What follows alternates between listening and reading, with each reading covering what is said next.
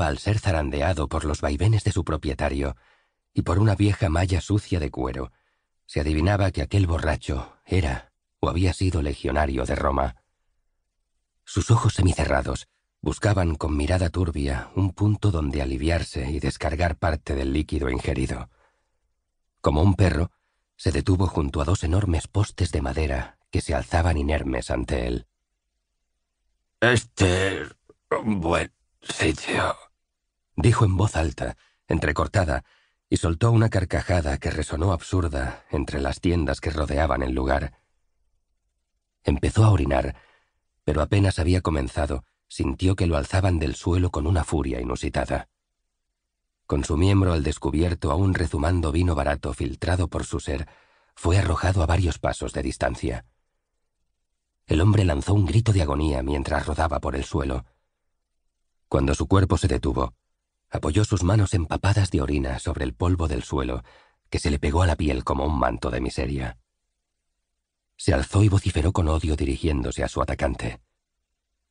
Por Castor y Pollux y todos los dioses. Estás loco. Te voy a matar.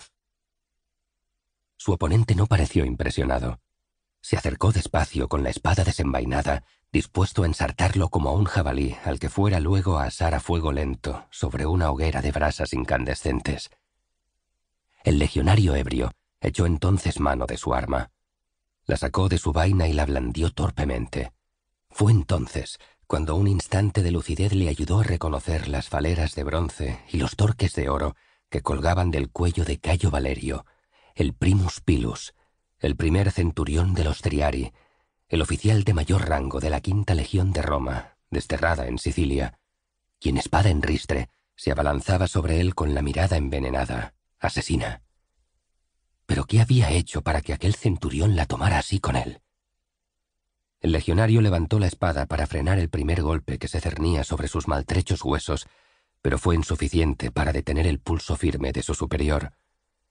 El arma cedió al empuje del centurión y saltó por los aires sin apenas desviar el golpe certero que asestó el maduro oficial sobre el hombro derecho del legionario.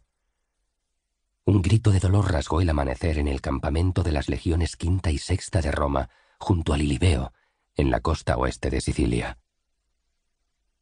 Una multitud de legionarios salió de sus tiendas para contemplar cómo el primus pilus escarmentaba a uno de los suyos con una saña fuera de lo común. Un centurión de menor rango se acercó a Cayo Valerio e intentó calmarlo. Es suficiente, Valerio. Por Júpiter, vas a matarlo. Valerio se revolvió como un felino. El muy insensato ha orinado sobre los estandartes de la Legión. Un silencio denso se apoderó de la muchedumbre de legionarios. El primus pilus estaba a punto de matar a uno de los suyos, pero tenía razón. Orinar sobre las insignias del ejército era un acto insólito y sacrílego. Estoy borracho. No sabía lo que hacía.